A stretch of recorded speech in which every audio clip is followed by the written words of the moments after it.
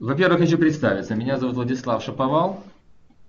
Я э, являюсь юридическим представителем корпорации Microsoft по вопросам защиты прав интеллектуальной собственности в Украине.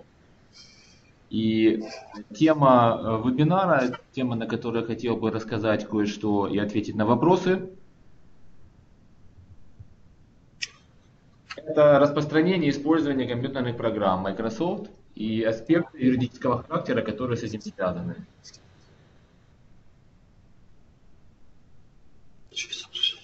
Я вижу опять же, что пропадает звук. Так, давайте я попробую поближе к микрофону. Давайте попробуем. Так. Э, вот теперь скажите, пожалуйста, слышно ли меня хорошо? Напишите в чате. Слышно, да? Отлично. Тогда начнем.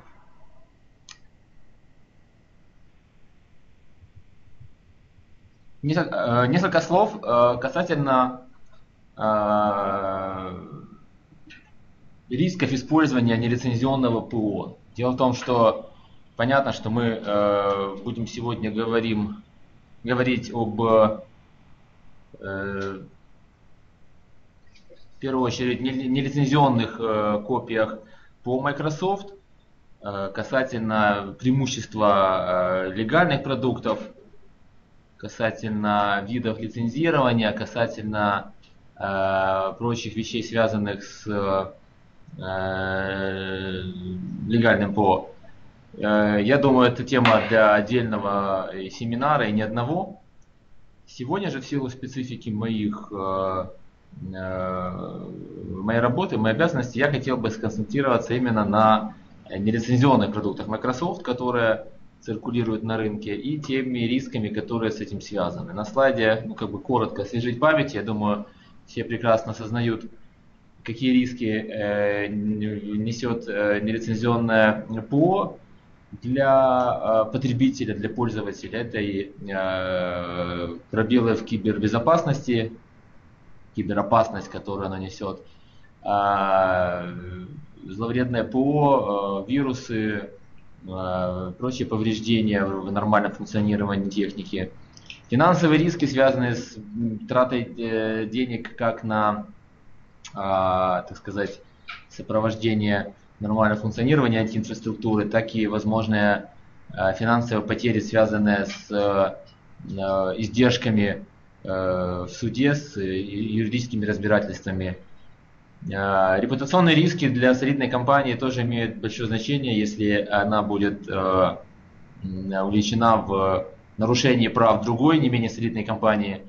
Это, безусловно, э, повлечет определенные потери как для э, компаний внутри Украины, так и на, скажем, каких-то международных рынках. Известны случаи, когда, скажем, компания не получала финансирование, не, не могла э, привлечь инвестиции по той причине, что э, у нее были проблемы с лицензиями на программные продукты. Ну и, наконец, юридические риски, это то, о чем мы будем сегодня говорить, то, что связано с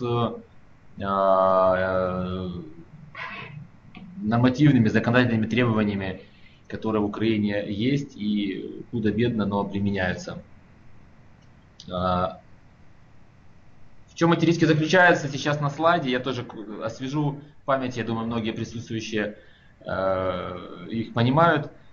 Двигаясь по очереди, в первую очередь юридический риск, который возникает у э, пользователя или продавца программных продуктов нелицензионных. Это, так, контакты с правоохранительными органами.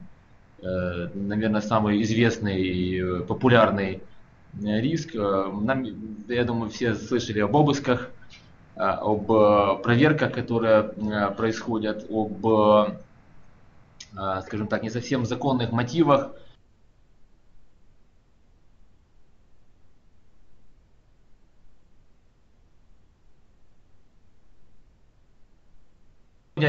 Есть единственный государственный орган, который... Меня слышно? Опять пишет пропал звук. Отлично. А, так вот, э, на сегодня основной, пожалуй, единственный орган, который э, компетентен проведении подобных силовых мероприятий, это МВД или полиция, как сейчас она называется. Кроме того, в Украине существует государственная служба интеллектуальной собственности, в составе которой есть специальная инспекция. Так вот, эти инспектора также уполномочены проводить проверки предприятий на предмет соблюдения лицензионных прав на программные продукты.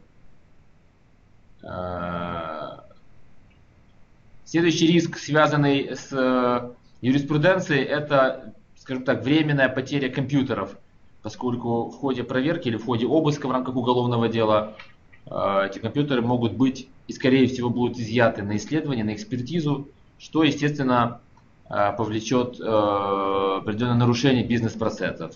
Обыск и изъятие компьютеров современного предприятия, по сути дела, приводит к его параличу. Это нужно осознавать и, соответственно, не доводить до э, подобной ситуации чем дальше.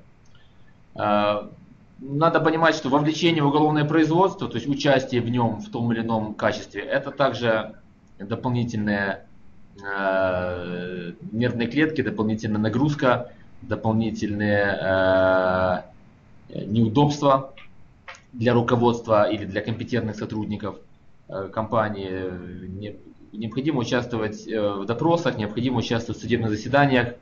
И как э, юрист могу сказать, что для неподготовленного человека это всегда стресс, это не э, то времяпровождение, которым, наверное, стоит заниматься. А, нельзя не сказать о том, что в результате нарушения, в результате вот этого юридического преследования вполне возможен обвинительный приговор, судебное решение, по которому Э, с нарушителя будут взысканы некоторые санкции. Ответственность установлена законом, она достаточно серьезная, и мы об этом поговорим позже. Э, так что риск применения санкций он существует, и примеры этому есть, я о них скажу. Ну и наконец, э, материальные потери. Дело в том, что Microsoft предъявляет претензии, материальные претензии к пользователям, к продавцам лицензионного ПО Э, поэтому выплата компенсации, возмещение ущерба – это еще один риск и, пожалуй, один из, э, наверное, основных, поскольку э, иногда выходит так, что экономия на лицензиях приводит к значительно большим финансовым потерям для такого продавца или пользователя. Вот это вкратце как бы о рисках, о которых мы будем говорить, а теперь давайте о них же детальнее. Итак, Первое, о чем хотел бы говорить, это, э, собственно говоря, какие есть виды нарушения прав интеллектуальной собственности и, э, собственно говоря, распространение лицензионного ПО, продажа нелицензионного ПО и не только ПО, но и некоторых других предметов, как это квалифицируется с точки зрения закона. Э, можно назвать несколько разновидностей такого нарушения, таких, такого распространения э, контрафакта. Некоторые э, из них существуют давно, десятилетиями, некоторые появились относительно недавно. Это как бы э,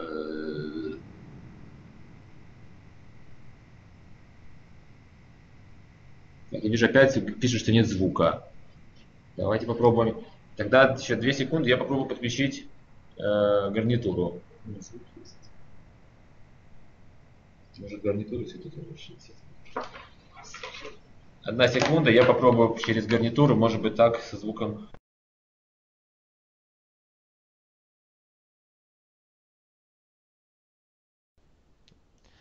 Я, я подключил гарнитуру, может быть так будет лучше.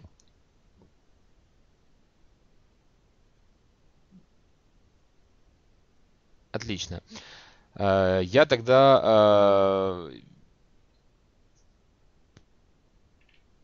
Все, супер. Значит, я э, хочу остановиться на видах нарушения, то есть, собственно говоря, какие есть разновидности распространения лицензионного ПО. И начнем с самого древнего по времени. Это тиражирование и продажа контрафактных или пиратских э, дисков, лазерных носителей или э, других медиа, на которые э, записаны нелицензионные копии. Этот вид уходит в прошлое вместе с лазерными дисками. Однако на сегодня он по-прежнему встречается, по крайней мере, в Украине. Я помню времена, когда на территории Украины действовали целые заводы, которые занимались тиражированием контрафакта. Сейчас это в основном происходит, скажем так, в кустарных больше условиях, однако по-прежнему есть пользователи старой школы, которые нуждаются в том, чтобы у них программа была записана на некий носитель.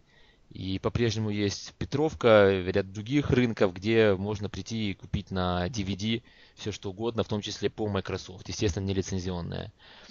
А, следующая разновидность нарушения, а, которая как раз в большей мере касается, я думаю, э, аудитории сегодняшней, это установка или запись на компьютер – Э, программных продуктов в магазинах, сервис-центрах на заказ по объявлению. Естественно, опять же, речь идет о тех случаях, когда э, записываются, устанавливаются нелицензионные копии программ, не с оригинальных носителей, не э, те, за которые уплачена была э, сумма за лицензию, а э, контрафактные копии. Здесь заказчиком выступает конечный пользователь, а магазин, продавец – Э, сервис-инженер или просто специалист в этой сфере оказывает э, подобные услуги. Оказание этих услуг это, собственно говоря, такое же нарушение авторского права, как и продажа пиратского диска. Пиратство в интернете, э, то есть предоставление возможности э, загрузить э, продукт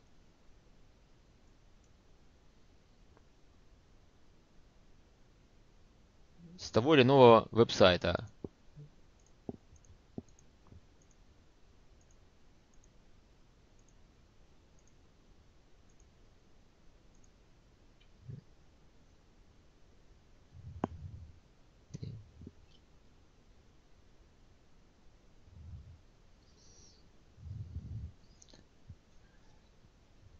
Итак, пиратство в интернете, предоставление возможности загрузить нелицензионную копию продукта с веб-сайта или предоставление ссылки на такой ресурс. Э, надо сказать, что, э, опять же, Украина э, славится тем, что сфера интернета здесь никак не регулируется. Есть огромное количество ресурсов, где без проблем можно скачать самые разные программные продукты, Опять же, это все делается без разрешения правообладателя и в полной мере это касается продуктов Microsoft. И речь идет и о торрент э, ресурсах, и об э, даже обычных веб-сайтах или обычных серверах, э, локальных или подключенных в интернет, где пользователь может найти все, что угодно, скачать это самостоятельно или с помощью специалиста. Ну и, наконец, самый новый вид нарушения и разновидность нелицензионного распространения продуктов Microsoft, это продажа э, наклеек сертификата подлинности или распространение ключей продукта, которые как бы э, создают видимость легальности. Мы об этом поговорим э, прямо сейчас. И надо сказать, что опять же это явление в последнее время приобретает массовый характер в Украине, хотя еще какое-то время назад, там год-два, о нем никто не слышал. А сейчас же это, этот вид нарушения становится все более и более распространенным.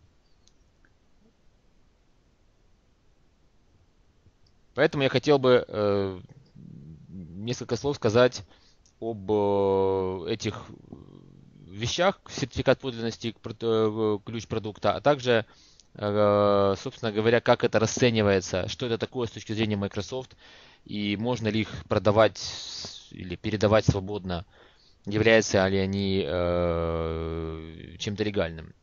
Итак, э, сертификат подлинности или Certificate of Authenticity это э, наклейка, как правило, предназначенная для размещения на корпус компьютера или на корпусе, на коробке э, коробочной версии, которая является, скажем так, составной частью, неотъемлемой частью лицензионной копии – Э, продукта Microsoft. И, э, ну, как видно из названия, переводе с английского языка, это подтверждение легальности копии. То есть, иными словами, как бы это э, наклейка, подтверждающая легальность той копии продукта, которую пользователь приобрел в магазине, в интернете, у партнера, на веб-сайте Microsoft, неважно.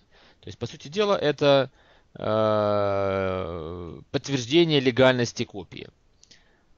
Но нужно понимать, что сам по себе э, сертификат подлинности, сама по себе наклейка не является лицензией, она не является документом, э, который имеет собственную цену, она не дает право на использование того программного продукта, который на этой наклейке написан.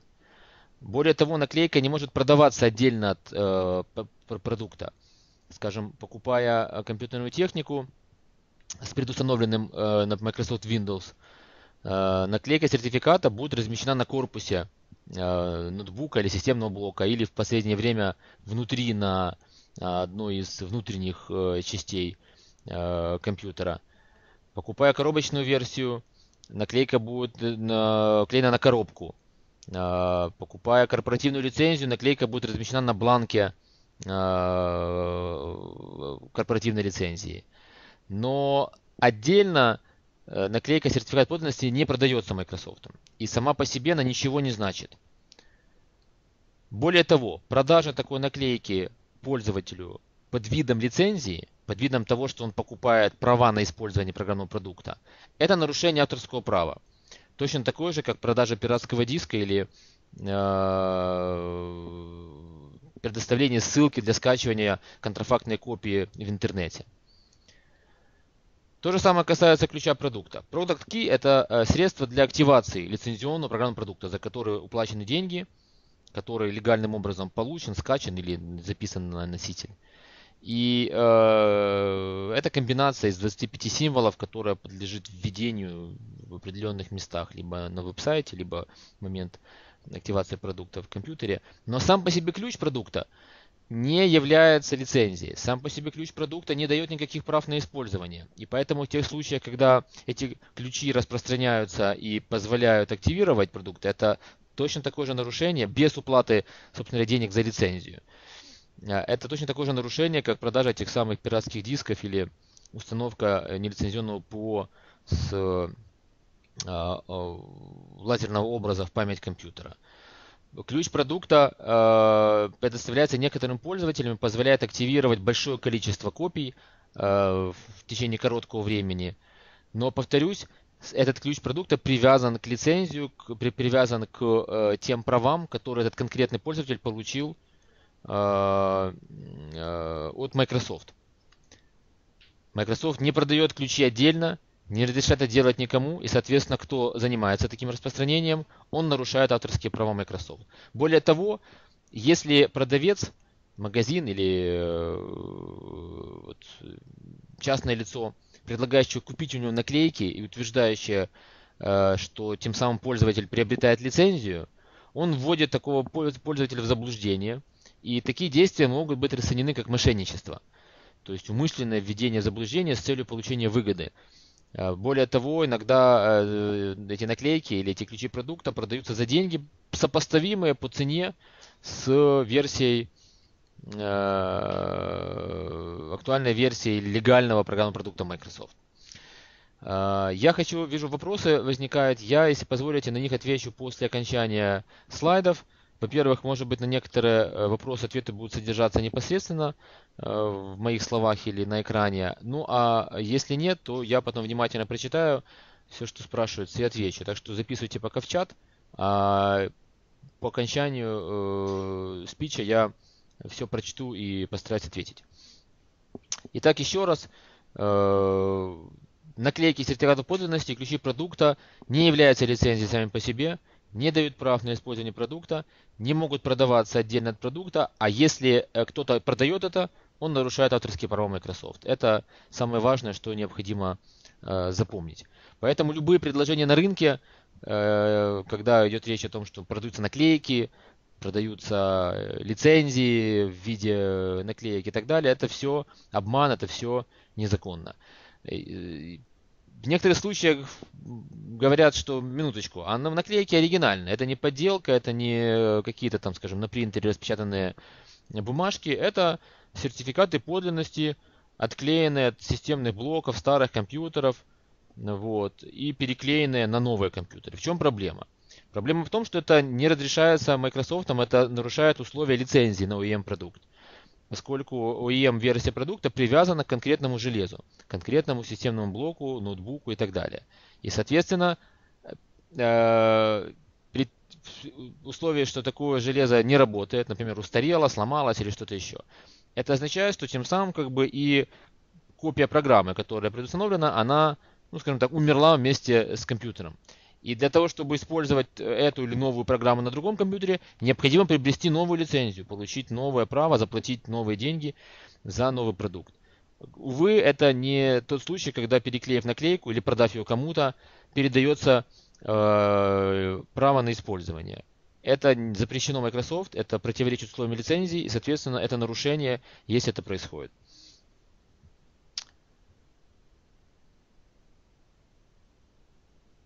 Я говорю о нарушениях, об ответственности, о санкциях, а кто в зоне риска, кто, собственно говоря, конкретно может быть привлечен к ответственности, кто, кому важно э, очень внимательно и тщательно подходить к вопросам соблюдения лицензионных прав, выбора правильного продукта, проверки, э, а все ли он делает законно.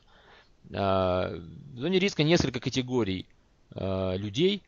Ну, в первую очередь, если мы говорим об продавцах, то, конечно же, это непосредственно продавец – э, софта, то есть тот, кто занимается либо в магазине офлайновом, либо на сайте э, коммуникацией с клиентами и э, предлагает им купить тот или иной продукт, получать от них деньги.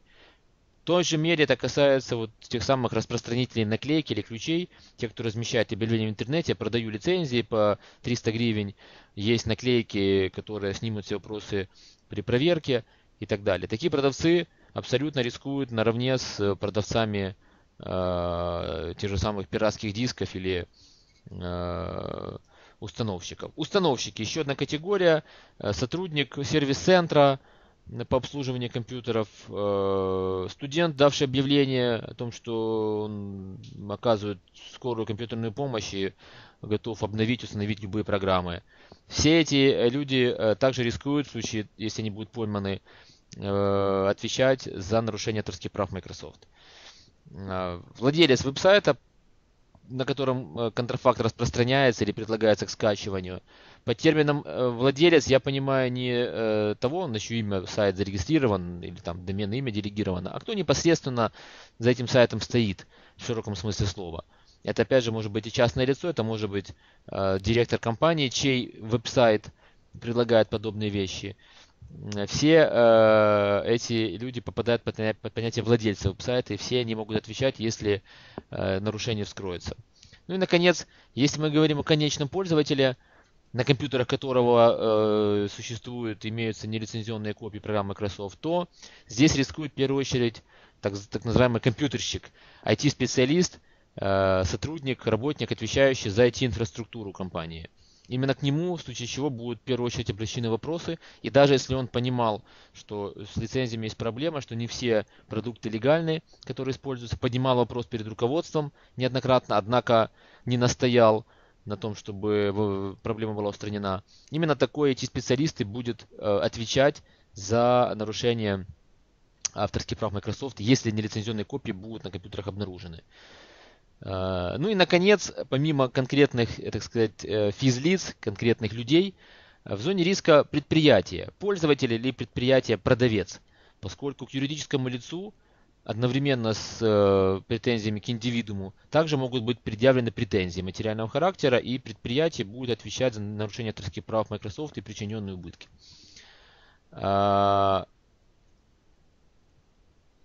Какие есть формы преследования нарушителей? А, то есть э, какими путями можно двигаться а, корпорация Microsoft, защищая свои авторские права.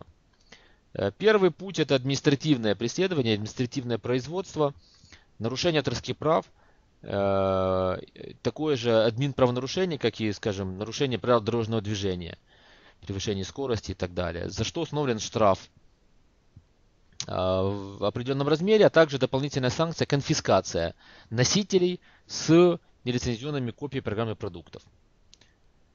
А, в некоторых случаях ответственность уже уголовная, и уголовное преследование заключается в том, что в рамках уголовного дела проводится расследование, проводятся определенные следственные действия, обыски, допросы, э, экспертиза, э, изучение документов, после чего дело, уголовное дело рассматривается судом, который и выносит приговор, обвинительный или оправдательный, и в случае обвинения, в случае подтверждения факта нарушения э, прав Microsoft применяет уголовные санкции.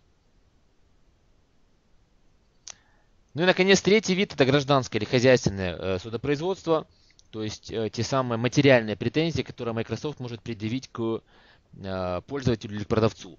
Здесь юридическая работа заключается в сборе доказательств изначальных, потом, опять же, в тех же самых судебных заседаниях, и, наконец, в случае удовлетворения иска и взыскания компенсации, то исполнение такого решения, то есть получение денег с нарушителя. А, я думаю, наиболее интересным с точки зрения практической будет э, все-таки то, как происходит именно уголовное преследование за нарушение авторских прав вообще и нарушение прав Microsoft в частности. А, первое, что нужно сказать, на сегодня уголовное дело, или говоря по-правильному, уголовное производство, открывается автоматически по факту подачи правообладателем в частности корпорации Microsoft, заявление о нарушении авторских прав. При этом заявление может подавать не только э, правообладатель, не только Microsoft. Это нужно э, понимать. Таким основанием может выступить, скажем, жалоба недовольного клиента магазина, который хотел купить лицензионный продукт, ну, был уверен, что он его покупает, заплатил за него, а потом обнаружилось, что у него там какая-то непонятная наклейка, э, продукт не активируется или какие-то еще претензии возникли, и он Э, жалуются на продавца в МВД. Это могут быть доброжелатели, конкуренты, бывшие работники, недовольные увольнением, кто угодно, кто решил, э, так сказать, э, настучать, говоря по-простому, на своего оппонента и сообщил информацию о том, что в работе такого предприятия используются нелицензионные продукты Microsoft. Или магазин занимается тем, что продает э, контрафактные э, копии или какие-то наклейки, которые на самом деле не являются лицензиями. Все эти вещи, э, все эти заявления, все эти обращения могут послужить формальной причиной для открытия уголовного производства. Повторюсь, оно открывается автоматически по факту подачи заявления. Никаких там дополнительных проверок, ничего не нужно. В рамках уголовного э, расследования полиция, мне по-прежнему сложно и непривычно применять это слово в отношении наших милиционеров, однако теперь называется именно так. Итак, полиция в рамках уголовного расследования может э, совершать ряд следственных действий. В частности, собирать доказательства, э, скажем так, тайно, проводить контрольные закупки, собирать данные о предприятии, потом Э, обратиться к этому предприятию, скажем, с претензиями, вернее, с вызовом на допрос. Более того, по решению суда может быть проведен либо обыск изъятие компьютерной техники с подозрительными продуктами, или так называемый временный доступ к вещам и документам. Здесь также необходима предварительная санкция суда, но так или иначе это все происходит в рамках уголовного дела, и в любом случае это, скажем так, санкционированное судом мероприятие, которое э, ну, проблематично э, оспорить или отменить, остановить, если следователь совершил э, все правильно. Э, после изъятия, если компьютеры с подозрительными программными продуктами, на которых нет подтверждающих документов, нет свидетельств о том, что э, лицензия была приобретена, э, такие компьютеры будут изъяты и отданы на экспертизу. Это требование закона. Эксперт э, должен установить, во-первых, какие именно продукты э, реально установлены, кто правообладатель, и какие версии, конкретные версии инсталлированы. Это имеет значение для э, дальнейших, дальнейшей судьбы дела. Хочу обратить внимание, что в случае наличия каких-то наклеек сертификатов подлинности или, скажем, использования для активации тех или иных ключей продукта, эта информация тоже может быть проверена на предмет подлинности. У нас есть случаи, когда э, э, следователь обращается э, и дает нам запрос, которым указывает определенный номер ключа продукта и спрашивает, а собственно говоря, кто этот э, ключ может использовать и в каком количестве продукты могут быть по нему активированы. Вся эта информация тоже может быть перепроверена в Microsoft. Ну и наконец, когда экспертиза закончена и вся необходимая информация собрана, она предоставляется нам э, как представителям Microsoft или другим правообладателям для расчета причиненного ущерба, если он причинен, если нелицензионные продукты на компьютерах были э, обнаружены. Э, в чем состоит ущерб? Когда мы говорим о нелицензионном использовании или продаже контрафактных э, продуктов, или продаже наклеек, или предоставлении возможности скачать э, пиратскую копию в интернете или там получить ключ. В чем же состоит ущерб, что, так сказать, теряет правообладатель Microsoft? Здесь применяется принцип так называемой упущенной выгоды. То есть ущерб Microsoft состоит в том, что э, корпорация не заработала, не получила определенную сумму денег из-за того, что пиратские копии были проданы и инсталлированы на компьютеры пользователя. То есть, иными словами, одна пиратская копия, скажем, Windows 7 вытеснила с рынка лицензионный экземпляр, который не продал Microsoft или его партнеры, не заработали на этом денег, соответственно. И вот эти незаработанные деньги и э, являются той самой упущенной выгодой, тем самым ущербом. Рассчитывается сумма ущерба, сумма этой упущенной выгоды на основании розничных цен на лицензионные продукты, причем под э, розничными ценами понимается э, цена э, коробочной версии, так называемой, то есть той версии, которая продается поштучно, которую можно купить без каких-либо дополнительных условий, она не привязана к каким-то, скажем, параметрам покупателя, она не привязана к технике определенной, она не привязана к прочим условиям, не содержит никаких скидок, Э, там, по поводу вида деятельности предприятия. Это то, что можно прийти в магазин или зайти на сайт и купить, потом перепродать, э, подарить, все что угодно сделать. Вот именно эта коробочная или FPP-версия, а, цена ее как раз используется для расчета суммы ущерба. То есть, скажем, если на компьютере пользователя или при продаже в магазине установлено, что продано 3 пиратских э, копии Windows 7, Сумма ущерба будет составлять стоимость легального лицензионного экземпляра Windows 7 коробочного, умноженная на 3. Все очень просто, достаточно простая формула, и э, надо э, понимать, что если обнаружены пиратские копии, скажем, OEM версии продукта, или э, э, используется ключ, э, который на самом деле был выдан для, скажем, образовательного учреждения, а э, в реальности были активированы продукты для обычной коммерческой организации. Во всех этих случаях все равно ущерб будет считаться по стоимости лицензионного коробочного продукта, умноженного на количество пиратских копий. В законодательстве существует понятие порогового размера ущерба. Это та сумма, э, которая определяет, какой ответственности привлекается нарушитель, продавец или пользователь в случае Э, нелицензионного э, использования или распространения продуктов Microsoft. Если пороговый размер превышен, наступает уголовная ответственность. Если он не достигнут, то административная. Вот тот самый штраф, как за нарушение ПДД. Пороговый размер ущерба колеблется во времени, он привязан к минимальной заработной плате. И вот в 2016 году его сумма составляет 13 780 гривен. Иными словами, если, скажем, зафиксирован факт продажи нелицензионных копий продукта, э, лицензионные копии которого стоят больше этой суммы, будет гарантированно возбуждено уголовное дело. Иными словами, опять же, э, переводя на современные цены, по сути дела, двух компьютеров с пиратскими копиями операционной системы и пакеты Office уже будет с головой достаточно для того, чтобы наступило именно уголовное э, дело – а не э, административная. То есть пороговый размер достаточно невысокий в Украине, и по сути дела любой факт нарушения, который вот, может быть зафиксирован или может быть обнаружен, он автоматически ведет к уголовному производству. Админ дела это как бы достаточно редкий случай именно по той причине, что сумма ущерба, как правило, уже составляет большие суммы. Какие санкции могут быть применены? Они на экране. Э, я э, коротко пробегусь. Э, админ ответственность это штраф.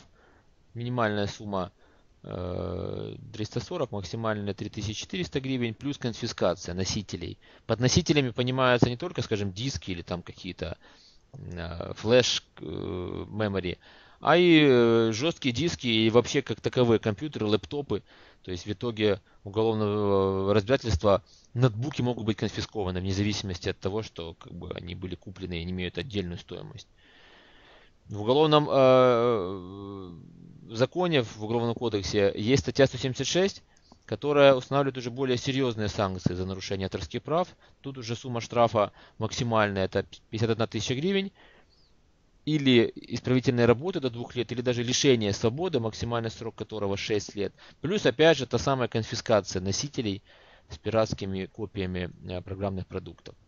Ну и, наконец, материальная ответственность или гражданская ответственность, то есть э, то, что э, возмещается в пользу правообладателя. Если штраф взыскивается в пользу государства, то э, в гражданском э, судопроизводстве будет э, взыскана именно э, сумма в пользу Microsoft.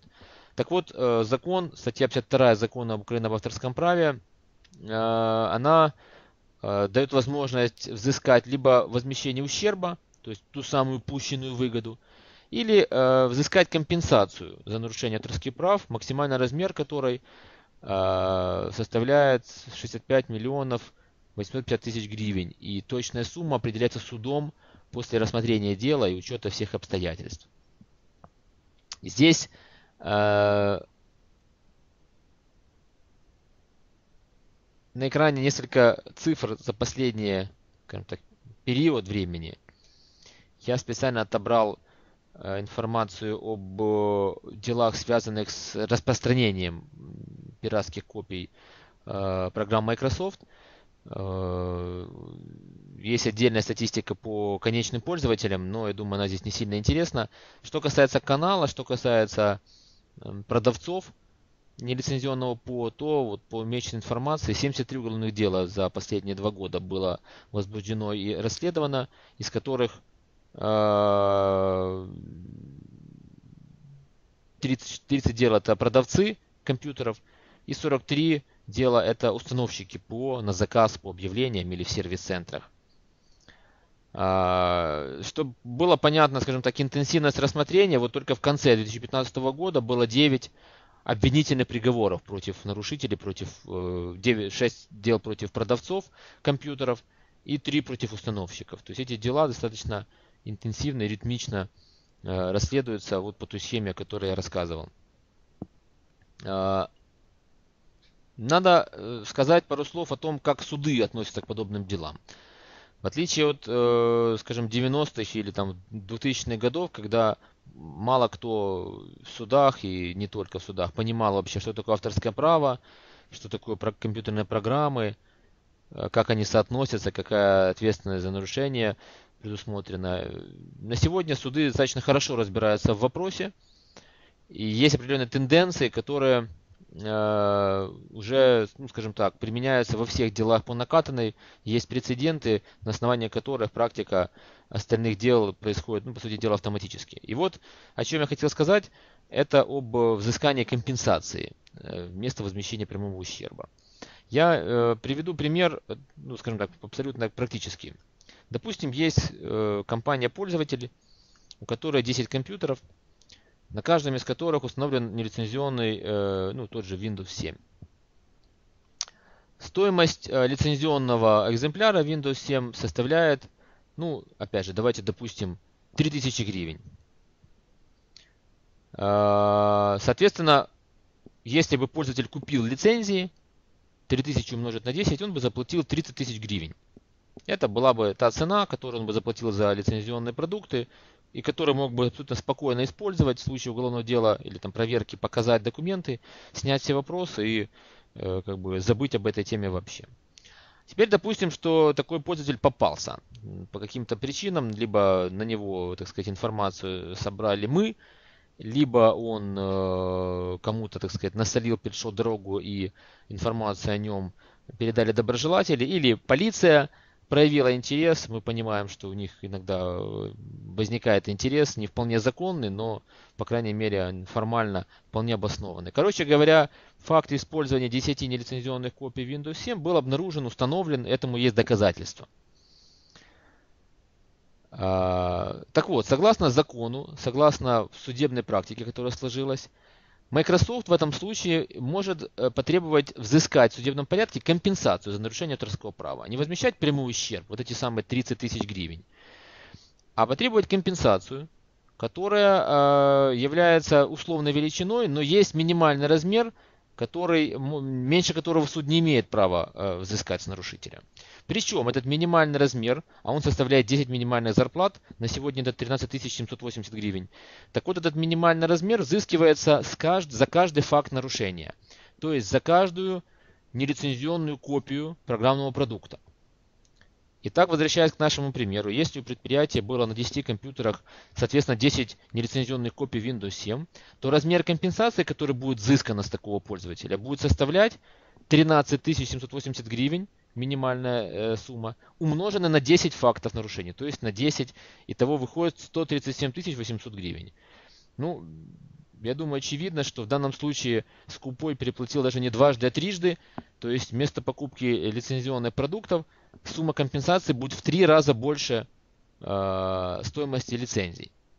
Вот такой подход судебной практики, то есть на сегодня попадаться э, в суд и платить э, эти компенсации, это достаточно невыгодное занятие. То есть э, ее размер будет очевидно больше, чем стоила бы лицензия на тот или иной продукт Microsoft. Есть очень мало продуктов э, у корпораций, которые стоят дороже, э, у которых лицензия стоит больше вот этой минимальной суммы компенсации 13 780 гривен. Это нужно понимать и доносить до пользователей. Я, я думаю, присутствующие работают с клиентами, пожалуйста, донесите эту информацию, что а, риск не только в том, что вот, а, если поймают, то в итоге придется купить лицензионные копии. Нет. Дело в том, что а, помимо покупки лицензионных продуктов придется заплатить компенсацию, сумма которой может быть трижды а, больше, чем стоимость лицензии. Поэтому, если компания, пользователь считает деньги, она должна этот риск, этот фактор э, подобных абсолютно необоснованных и как бы бессмысленных материальных затрат учитывать, принимая решение. А, я все время говорю о неких абстрактных вещах, о нормах закона, об э, санкциях. Хотел бы привести конкретные примеры и дел, с которыми мы сталкиваемся, которые ведем. И первый пример касается продажи наклеек. То есть вот абсолютно как бы типичный для э, сегодняшней ситуации случай, когда есть некий веб-сайт, а, именно он расположен был на портале Promway, сайт Dancom Promway, на котором было размещено несколько, ну, множество объявлений продажи э, продуктов Microsoft. Причем э, скидки предоставлялись на наклейки лицензии, в частности Windows XP наклейка, продавалась по цене 500-700 гривен. Я думаю, многие пользователи заинтересовались этим предложением и заплатили деньги, а, получили наклейку и были уверены, что у них теперь все легально, они теперь лицензионный пользователь. Что на самом деле не так, как, э, я думаю, мы уже разобрались. И об этом сайте стало известно Microsoft. Мы э, в марте прошлого года провели сначала контрольную закупку, заказали на этом веб-сайте некоторые э, продукты. Продавец прислал нам вот те самые наклейки, причем некоторые из них были, судя по всему, оригинальными, отклеенными от других компьютеров. А также кустарно записанные DVD с копиями тех программ, наклейки по которым он прислал. А, мы провели исследование, подтвердили, что эти наклейки, во-первых, либо контрафактные, либо э, отклеенные, предназначались для других компьютеров и для других рынков. После чего обратились в э, МВД. Было в июле 2015 года инициировано уголовное производство по статье 176 нарушение авторских прав, а также по статье 190 это мошенничество и статья 229 Уголовного кодекса это незаконное использование знака для товаров и услуг. А нужно понимать, что наклейки содержат э, торговые марки Microsoft. Надпись Windows, надпись Microsoft, другие логотипы. Это все торговые марки, э, которые не могут быть использованы без разрешения правообладателя. И, соответственно, продажа наклеек – это, помимо всего прочего, нарушение прав на торговую марку, о чем мы сообщили милицию. Э, в течение нескольких месяцев проводилась подготовка, и в октябре 2015 года был проведен обыск в офисе на складе этого онлайн-магазина. Изъята была компьютерная техника, которая там находилась в работе, а также были обнаружены, ну, во-первых, документация о покупателях, о заказчиках этого магазина и плюс 145 сертификатов э, подлинности, которые, ну, я так понимаю, предназначались для продажи в ближайшее время. И на сегодняшний день, ну, как бы следствие э, еще продолжается. Я думаю, что к концу марта дело будет передано в суд. Однако магазин прекратил работу. Сейчас идет экспертиза компьютеров. Однако мы уже э, заявили иск к владельцу веб-сайта. Это частный предприниматель, который, так сказать, стоял за этим магазином. Причем сумма исковых требований составляет 2 миллиона 163 тысячи гривен. А, не маленькие деньги даже по нынешним временам.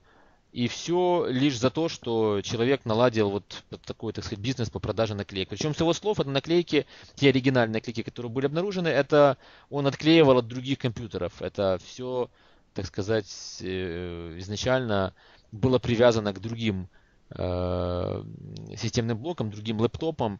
Вот он решил таким образом заработать. И в итоге, судя по всему, э, его заработок превратится в существенными убытками. А, еще один пример конкретных дел, это вот ну, буквально последнее декабрьское дело в отношении конечного пользователя.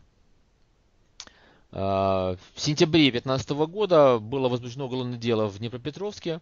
Причем не э, Microsoft его инициировал, хочу подчеркнуть. Там, очевидно, формальным основанием для открытия уголовного дела послужило э, обращение, ну, скажем так, кого-то со стороны. И в ходе обыска было изъято а, если не ошибаюсь, 9 э, компьютеров, которые ну, использовались предприятием. На них были обнаружены контрафактные копии продуктов Microsoft. А, и хотя пользователь переводил стрелки, говорил, что эти компьютеры были куплены, программные продукты ставились не нами, а кем-то еще по объявлению, несмотря на это, 28 декабря был вынесен приговор э, городским судом города Желтые Воды Э, по которому вот на экране вы видите санкции, э, примененные к э, директору предприятия. Хочу подчеркнуть, здесь в итоге из-за того, что не было IT-специалиста, не было ответственного сотрудника за парк компьютерной техники, все претензии были в итоге предъявлены к руководителю предприятия. Итак, к нему была применена, во-первых, санкция 3,5 года лишения свободы, ну, правда, с испытательным сроком на 2 года. Кроме того, компьютеры, изъятые ходе обыска подлежат уничтожению, и они конфискованы. Ну и, наконец, иск, который был нами заявлен в отношении предприятия, также удовлетворен. Сумма компенсации составила почти 110 тысяч гривен. А, ну и, наконец, еще один пример э, дела, э, такого достаточно долгоиграющего, но длится уже практически 5 лет. Но характерным является то, что э, здесь проверка проводилась еще в 2011 году были изъяты компьютеры, потом долго была экспертиза, в итоге дело уголовно закончилось ничем. Но факт нарушения авторских прав был установлен. Мы, взяв материал уголовного дела, закрытого к тому времени, а, предъявили иск к коммунальному предприятию Ужгородский аэропорт. И в судебном порядке, в хозяйственном суде взыскали с него вот ту самую компенсацию. Причем э, позиция была подтверждена в судах всех инстанций, вплоть до высшего хозяйственного суда. А в 2015 году аэропорт не сдавался. Они обжаловали все, что только можно, и в итоге в 2015 году суд признал незаконным проведение милицейской проверки. Там действительно тогдашние сотрудники МВД наломали дров, они, скажем так, ну, безосновательно пришли на проверку, безосновательно изъяли компьютер, это все суд установил. То есть, казалось бы, справедливость восторжествовала. Но при этом всем Э, исковое заявление Microsoft было пересмотрено и оставлено в силе. То есть, несмотря на то, что милиция или уже полиция пришла незаконно, несмотря на то, что компьютеры забрали незаконно, это нарушение со стороны МВД. Но поскольку факт нелицензионного использования был зафиксирован в документах, претензии Microsoft абсолютно обоснованы. И суд оставил в силе предыдущее решение, то есть сумма компенсации, которая была взыскана, она не подлежит возврату. Даже несмотря на то, что милиция наломала дров в свое время. Это очень характерный пример, то есть даже если, скажем так, пришли там с целью получить взятку, да, полицейские, но, предположим, они составили протокол, они зафиксировали факт нарушения прав, уже э, это даст нам основание предъявлять претензии к такому продавцу или к пользователю, и они будут обоснованы в отличие от э, действий правоохранительных структур. Э, я вижу, время э, стремительно бежит, поэтому на этом прекращу, наверное, со слайдами. И э, вижу, что э, целый ряд был вопросов в чате. Я сейчас буду на них отвечать, э, скажем так, сначала. Прошу, если у кого-то они есть э, еще, пишите в чате, я их обязательно прочитаю. Так, про погоду, я думаю, ответ, ответ был получен. Да. Так.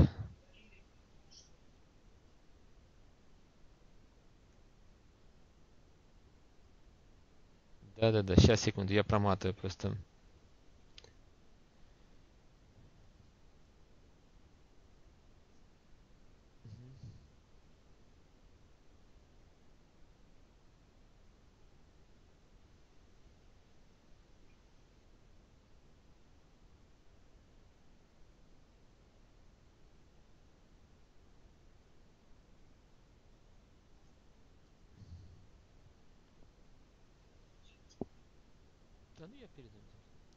Так, значит, э, первый вопрос я вижу, как же ESD канал? Там нет ни наклеек, ни бумажек, только электронный ключ.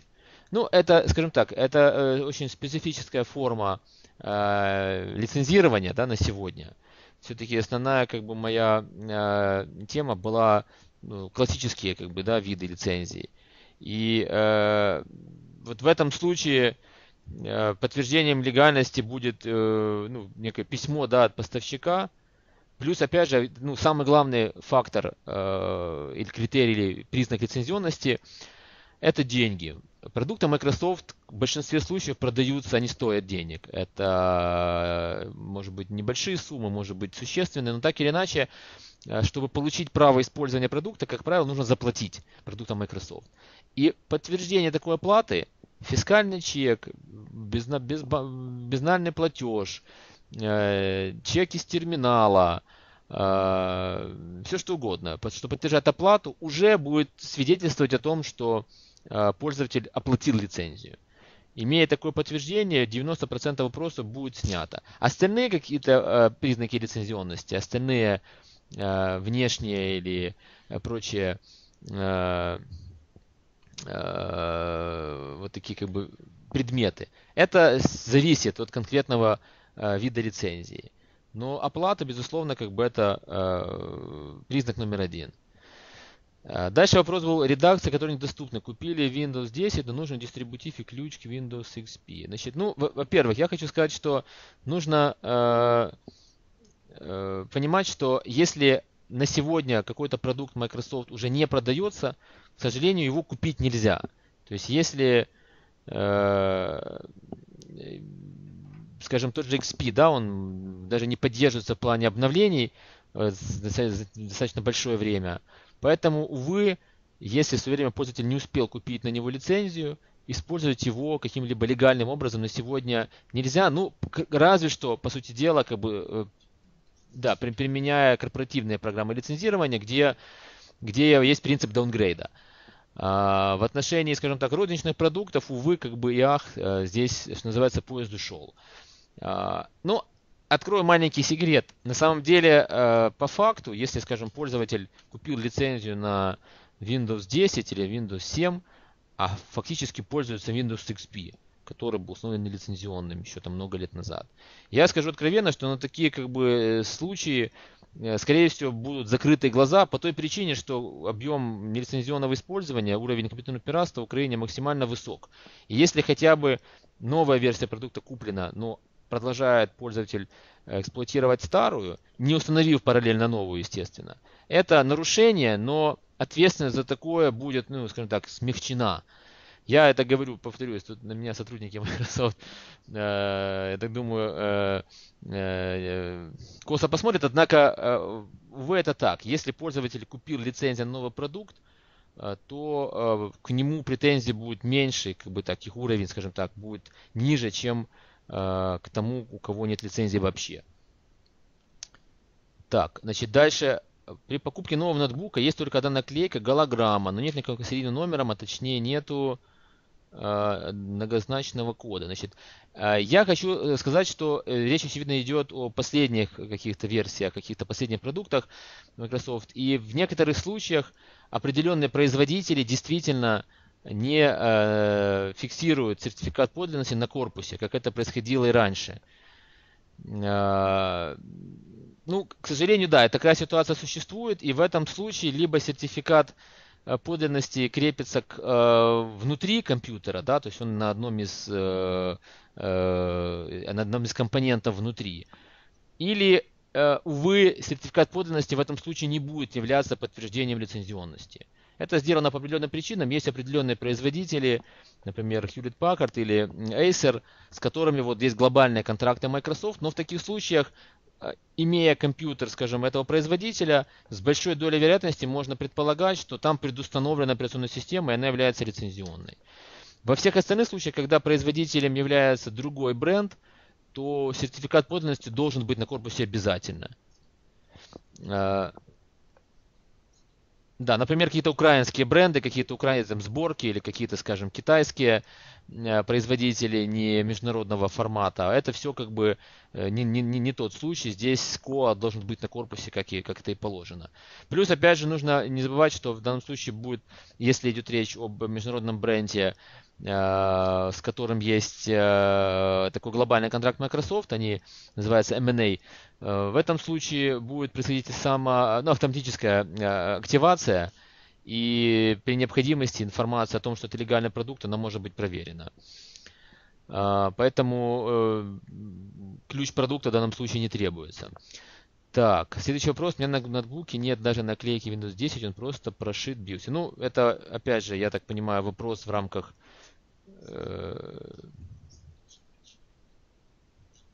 да, я в, в отношении технических вопросов передам коллеге. А, значит, ответ на вопрос, если нету а, на ноутбуке голограммы Windows.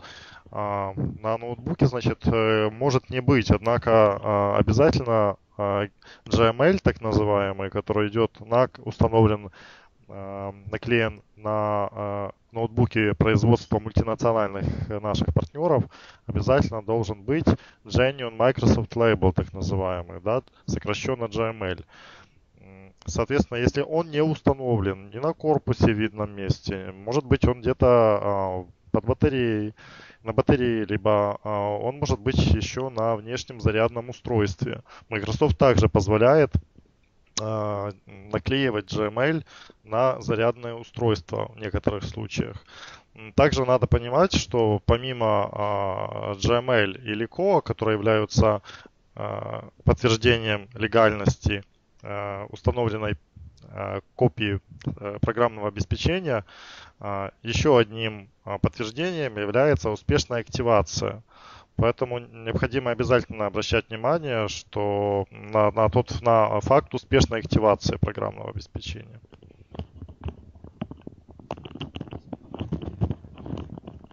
Так, и вот я не видел вопроса, но предваряя его, хочу по поводу Windows 10 сказать. Вот часто спрашивают, а его же можно скачать бесплатно, да, обновиться до него бесплатно. Что будет в этом случае тогда подтверждением лицензионности? Ответ на самом деле очень прост.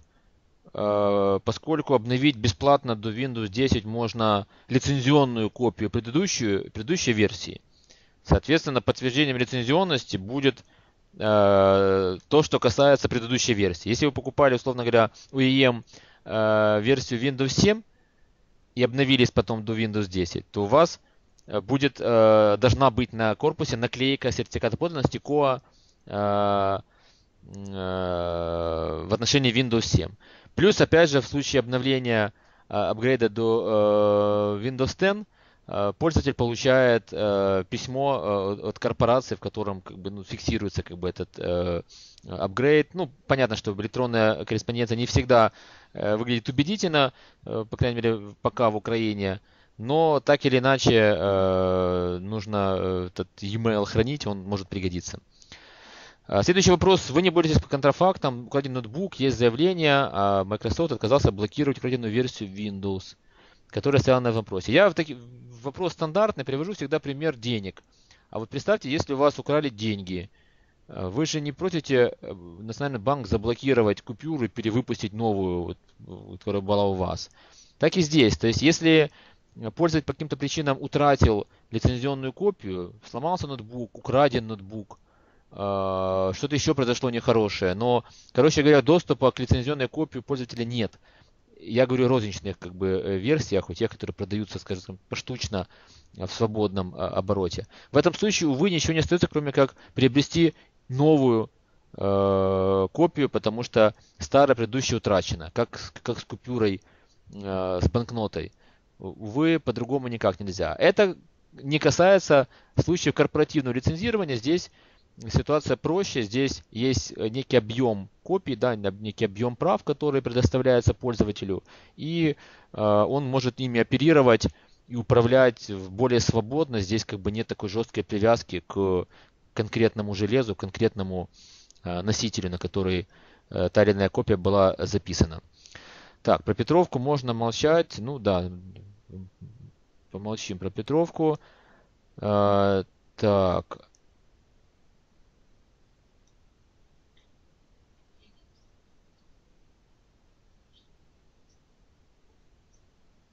Ну это, это, это ответит, да.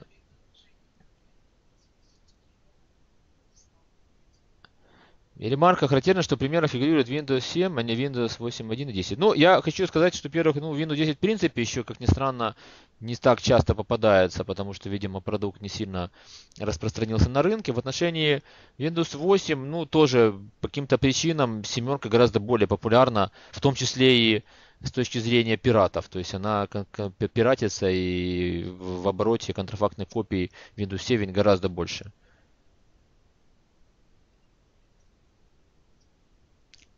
Так, по поводу пользователей по купленным ноутбукам, я здесь хочу сделать отсылку на веб-сайт Microsoft, где есть специальный раздел, абсолютно как бы детально э, объясняющий, как идентифицировать э, лицензионный продукт. И вот ну, в отношении последних версий упомянутый э, GML, это ну, определенный там, скажем так, аналог сертификата подлинности, он позволяет э, идентифицировать, он не так легкодоступен, э, не, не, не, не всегда на корпусе как бы на видном месте. Но так или иначе, это четкий идентификатор того, что у вас есть э, лицензионная версия э, продукта, установленная на железе. То есть есть э, веб-сайт Microsoft, где это все подробно расписано. Я сейчас не буду занимать время, поскольку там масса деталей, связанных с теми или иными э, видами по Microsoft. А, так, э, есть ли значимая юридическая разница в ответственности хозяйствующих лиц, так или иначе нарушающих права? Ответственность конечного пользователя. Еще нарушение может быть без умысла. Ну, э, интересный вопрос, спасибо. На самом деле е, разница и есть, ее нет. С одной стороны, абсолютно э, не имеет значения, занимался ли человек, скажем, продажами или распространением пиратского ПО из идейных соображений, ну, просто чтобы людям было остальным приятно и удобно или он зарабатывал на этом деньги. То есть, условно говоря, продавец, который продавал наклейки там за 300 гривен, и человек, который просто разместил линк или там предоставил возможность скачать какую-то программу э, в интернете бесплатно, они абсолютно как бы одинаковые нарушители, нарушители с точки зрения закона. Здесь ключевым вопросом является ущерб, который они своими действиями причиняют правообладателю. А, что же касается умысла, вот здесь как раз это имеет значение, потому что если нарушение неумышленное, да, вот, например, покупатель, пользователь, он жертва, он был уверен, что он платит за лицензию, он был уверен, что купив эти наклеечки, да, он тем самым покупает право на использование. А на самом деле нет.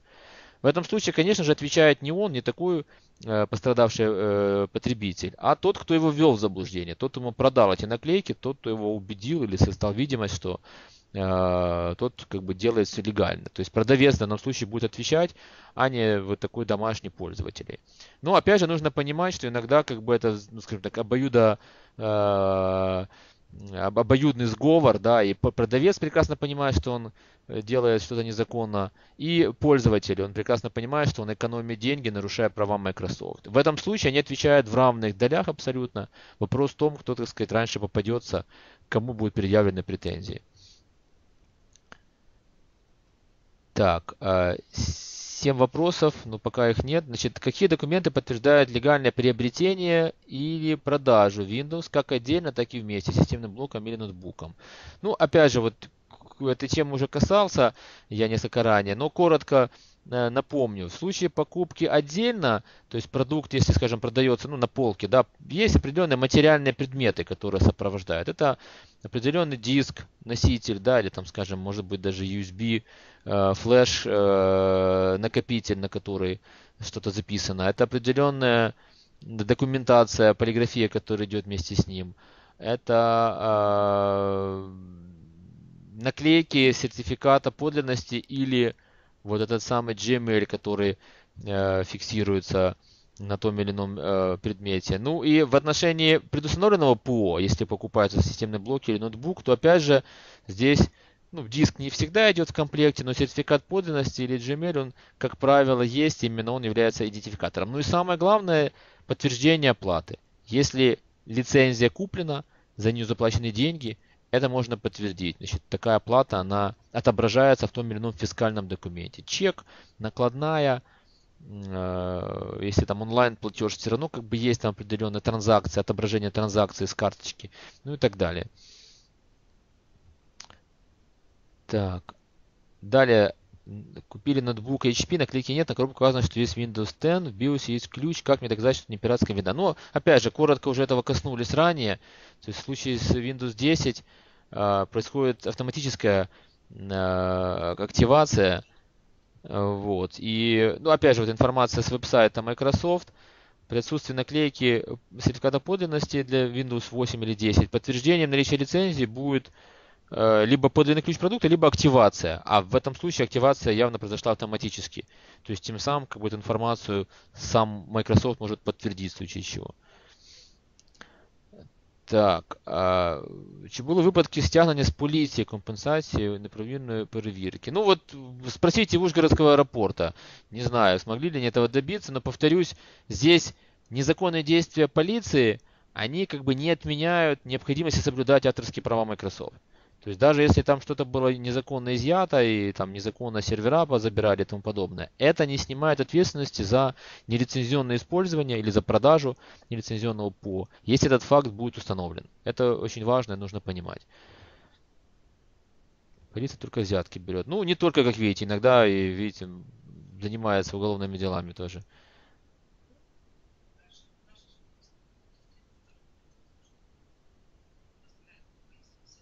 Так, вопрос. Бюджетные организации, как и раньше, могут пользоваться как бокс, корпоративными версиями. Ну, в отношении бюджетных организаций есть единственная специфика, это, скажем так, условия траты денег. Государственные деньги тратятся по определенной процедуре, есть там тендерные процедуры и так далее. Как бы. Что касается условий лицензии, то они у Microsoft абсолютно стандартные, как бы нет никаких особых разграничений для госсектора. Может быть вопрос цены, там, да, какой-то вопрос скидок для того же тендера, но в плане объема прав – которые получают пользователи, и разновидности лицензий, все абсолютно так же, как и для корпоративного сектора. Какие-то чеки, э, документы, какие-то договоры, все, что может вам пригодиться снять претензии, да, как бы исключить конфликт, как бы и э, минимизировать те риски, о которых мы говорим, лучше похоронить. Я думаю, это не так сложно, э, чем потом разбираться и доказывать свою правоту после контакта с правоохранительными структурами. Так, по поводу курсы MVA по данному направлению, ну, не в моей компетенции, к сожалению, на этот вопрос отвечать. Э, задайте его сотрудникам Microsoft. Так, как сотрудники полиции определяют, кто в компании ответственный за IT? Очень легко. А, как я уже сказал, при отсутствии такого человека, функциональные обязанности которого входит ведение парка компьютерной техники, это директор, руководитель предприятия. А так есть конкретный человек, у которого есть трудовой договор, есть там должностные обязанности, инструкция, э, приказ, в конце концов, э, или название должности. То есть все по внутренним документам предприятия определяется, и такой человек, он абсолютно как бы понятен после недолгого анализа. Так. Есть и право на даунгрейд для Pro версии операционных систем, но его можно реализовать в рамках стандартизации. Использовать носители ключ других машин парка. Я не очень понял, честно говоря, это вопрос или утверждение. Но могу сказать только в отношении downgrade, что этот принцип на самом деле он применяется опять же в отношении лицензионных э, продуктов. Вот очень часто путают и считают, что можно купить Windows там, 10, да, использовать Windows XP. Как я уже сказал, это тоже не нарушение условий лицензии. Другое дело, мы закрываем на него глаза в многих случаях, но это неправильно. А, так, з вашої практики для позитивного рішення судом стягнення компенсації на вашу користь доказову базу було виключені матеріали, зібрані правоохоронним чи інші. Якщо були інші, то які, яким чином зібрані? Ну, я не буду лукавить, в большинстве случаев, конечно, именно материалы правоохранительных органов являются основной э, базой доказательной. Даже не совсем так. Они являются, скажем так, основанием для того, чтобы суд потом разрешил нам а, более глубоко как бы заглянуть вот в эту сферу. Понятно, что Microsoft не имеет права требовать у предприятия, вот покажите мне свои компьютеры, докажите, что вы э, лицензионный пользователь. Поэтому здесь материалы проверок, материалы уголовных дел первоочередные. Но приоткрою секрет, на сегодня есть возможность в отношении новых продуктов уже без помощи МВД, без помощи силовых структур некоторую информацию проверять и, скажем так, собирать доказательства если предприятие нарушает условия лицензии и количество продуктов, которые оно по факту использует, больше, чем э, тот объем, который покрывается купленной лицензией. Такая возможность есть, и я думаю, что мы будем скорость ее э, достаточно активно применять. Так, а... я время заканчиваю, поэтому коротко так. Про Windows 7 можно использовать коммерческие предприятия, рабочие ПК, Почему нет? Можно, без проблем. А, так, есть лицензия на Windows со сборки нарушения, вводилась за наклейки. Ну, а, смотрите, э, нужно понимать, что лицензия это право на использование, да, за которое вы заплатили, получили его. У вас может быть установлена на самом деле какая-то сборка, может быть установлена с пиратского носителя копия. Но если вы купили лицензию, то как бы это уже ваша проблема с учетом остальных рисков, да, которые контрафактная копия влечет за собой оставлять ее или переустановить как бы новую там с правильного носителя активировать ее, да. Но на самом деле, с точки зрения закона, как бы это не нарушение. Если у вас есть лицензия на Windows 7, а установили ее с пиратского диска или там скачали на торрентах, ну, как говорится, up to you. Так, и вот, наконец, обещанные 7 вопросов, а их точнее 5. Я, наверное, на их отвечу, и время у нас, к сожалению, заканчивается. Итак, закон или то, что правитель приходит с готовым решением суда. Закона, более того, это требование закона. То есть по закону, по Уголовно-процессуальному кодексу суд сначала дает санкцию на а, а, обыск или на временный доступ к вещам и документам. Иначе визит милиции является незаконным как раз. Как делать понять, что его не дурят, что проверка правомерная? Ну, могу рекомендовать только обращаться к юристам, чтобы у вас был свой представитель, который поможет правильно проконсультировать, чтобы никаких нарушений при проверке или при обыске не происходило. Какой документ на руках милиции позволяет ввести обыск? Ну, ухвала суда, определение суда о разрешении на обыск конкретного предприятия. Такая ухвала должна быть получена, без нее обыск незаконен. Каким способом можно заплатить только компенсацию, не заплатить до ответственности? Вот, это мой любимый вопрос. Значит, э, если предприятие или продавец или пользователь чувствует за собой грешки и готово скажем так, урегулировать эту ситуацию, чтобы не иметь претензий в будущем, пожалуйста, обращайтесь. Я, э, у нас есть практика заключения мировых соглашений, по которым все эти вопросы улаживаются. Либо под обязательство лицензироваться и на этом все, либо под обязательство выплатить определенную минимальную сумму компенсации, скажем так, э, и опять же соблюдать права Microsoft в будущем. Так или иначе, это абсолютно легальная процедура, которая потом в виде документов оформляется и снимает все вопросы о таком незаконном прежде пользовании. Так, каким образом платить компенсацию? Вы говорили, что обратились в МВД. Кто конкретно имеет право обращаться в МВД? Microsoft только предупреждает, а не доводит до последствиями действий. Значит, нужно понимать, что есть Microsoft Украина. Это офис местный, который занимается маркетингом, который занимается продвижением продукта, занимается поддержкой пользователей и так далее. Он не имеет никакого отношения к юридическому преследованию нарушителей, ко всей той тематике, о которой я говорил. Я же являюсь представителем корпорации Microsoft. Microsoft Corporation – это правообладатель, это иностранная американская компания, от имени которой подаются заявления, от имени которой все эти действия совершаются, в пользу которой взыскиваются компенсации, выплачиваются мировые соглашения и так далее. То есть нужно понимать, что Microsoft Corporation и Microsoft Украина это разные субъекты, разные юрлица, и у них абсолютно разные, скажем так, задачи и функционал здесь в Украине. А Microsoft Украина действительно предупреждает, разъясняет, просвещает. Это как раз и функция данного предприятия. Так, и последний вопрос. Является ли договор между аутсорсинговой IT-компанией и клиентом основанием для защиты аутсорсера от санкций Microsoft в случае установки клиентом контрафакта самостоятельно? Ну, здесь это сложный вопрос. На самом деле, все зависит от того, каким, как, как договором этот вопрос урегулирован.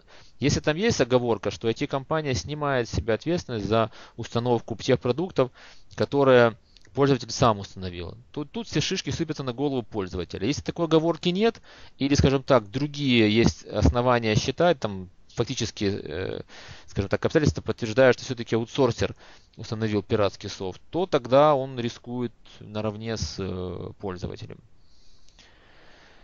А, так. Чем юридической точки зрения грозит покупателю покупка ПО с поврежденной упаковкой? Ничем, это не страшно.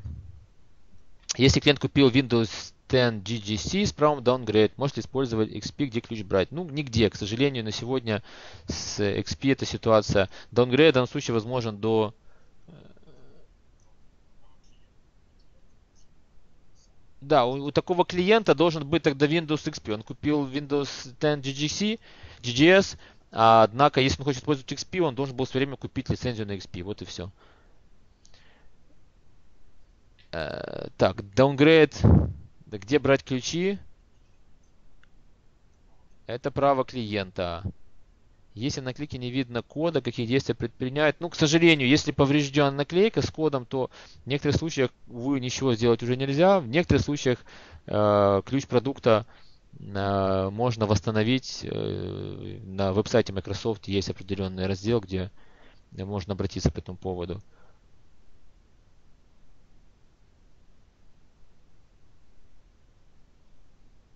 Так, э, если в момент проверки в помещении SC находится техника на аппаратный ремонт, я понял. По поводу техники, которая в сервис-центре находится. Ну, здесь опять же все зависит от оформления отношений с вашими клиентами.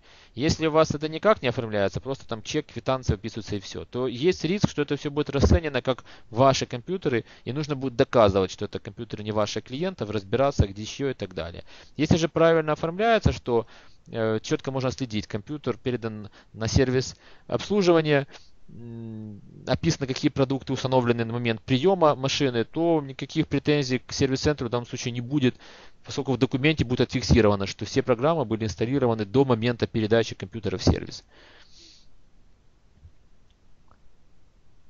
Так, если ноутбук с лицензионной наклейкой Windows 7, диска не было, будет нарушением системы с пиратского диска. Ну, опять же, как я сказал, носитель, с которого непосредственно физически инсталируется э, система, это э, при условии покупки лицензии, наличия прав. Это как бы, ну, на самом деле, проблема пользователя. Если он рискует, берет какую-то сборку, образ, ну, это дело его. Но самое важное, чтобы лицензия была куплена, оплачена и были вот эти самые материальные признаки лицензионности, наклейка КОА и прочее, прочее, что обычно сопровождает лицензионный экземпляр.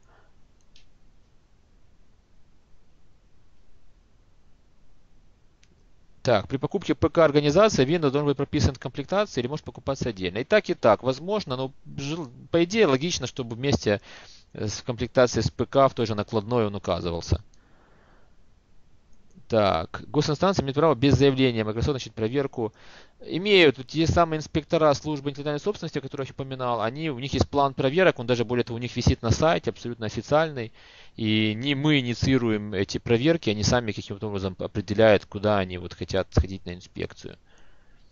В случае покупки компьютера, ноутбука, бывшего в употреблении с легальной версией Windows, где взять чек? Ну, если у вас компьютер с OEM версией, то опять же тогда у вас будет наклейка КОА, и она в данном случае будет считаться достаточным. А, если это новая версия, то опять же она активирована таким образом, и э, это можно э, перепроверить и подтвердить. Если идет речь об установленной коробочной версии, то тогда вам логично, чтобы продавец передал вместе с компьютером и коробку, поскольку это как бы два будет взаимосвязанных предмета и вам э, необходимо их получить как покупателю. Если у предприятия нет системного администратора, по условиям IT служит сторонняя организация по аутсорсингу. Кто несет ответственность? Ну, опять же, будем, будет решаться в конкретном э, деле с учетом конкретных обстоятельств. Если аутсорсер, если IT-компания э, перекладывая, берет на себя, скажем так, ответственность за чистоту компьютеров, то э, претензии будут к ней. Если она грамотно подошла к вопросу и есть оговорки, которые снимают с нее ответственность, четко ограничен, скажем так, спектр ее э, работы, а все остальное это компания-пользователь делает самостоятельно, то в случае уголовного дела, обыска и так далее, перевести стрелки на IT-специалистов внешне, скорее всего, не удастся. Хотя, опять же, понятно, что, может быть, по факту это именно они инсталлировали по просьбе руководства те или иные программы. Поэтому тут нужно быть, ну, скажем так, умнее и правильно подкладываться бумагами, чтобы в случае чего все риски были сняты с такого вот сорсера. Какие инстанции? Я насчет инстанции ответил. Э, э, на этом вижу, что все. Спасибо большое за внимание. Надеюсь, было познавательно. И а, по поводу Windows Home а, можно, да, на самом деле, как бы объем лицензионных прав позволяет использовать деятельности а, коммерческой, скажем так. А, и, наконец, последний вопрос. Можем ли мы поддержать клиента, если все документы есть, а полиция все равно хочет забрать? Да, конечно. Контакты LexFor есть на сайте Microsoft. Мы оказываем поддержку легальным пользователям по мере возможности. Хотя, есть известно, закончу опять же поговорка, спасение утопающих, дело рук самих утопающих. Пожалуйста, нанимайте грамотных юристов, они смогут э, правильно э, поставить себя в случае контактов с правоохранительными органами. Еще раз спасибо за внимание. Надеюсь, было познавательно интересно. И всем желаю хорошего дня.